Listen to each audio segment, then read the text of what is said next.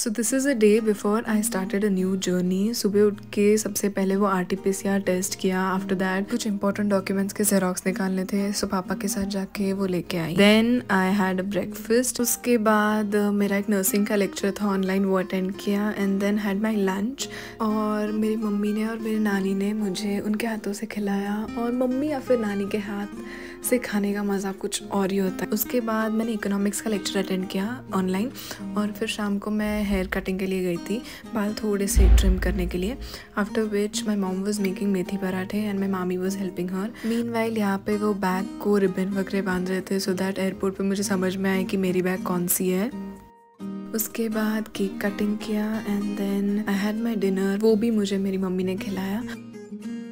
And then उसके बाद मैं सोई नहीं। मैं और मेरा भाई हम दोनों मिल के बातें कर रहे थे had some cake and yes that was it